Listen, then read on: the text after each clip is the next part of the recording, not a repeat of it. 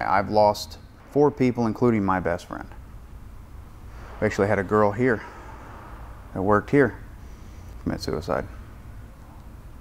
Been around guns my entire life since I could crawl pretty much. There were, you know, there was one behind every door. They were just always there. Got my first gun when I was like six.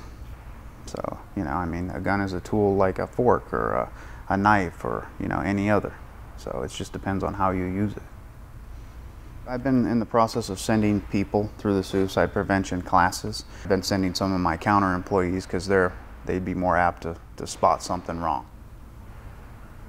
Going through so many and going through what I did, I, I, I pretty much know what to look for. If one of the employees at the counter sees something wrong, he'll get somebody else. He'll get manager, me, or somebody and say, hey, can you go talk to that guy for a minute?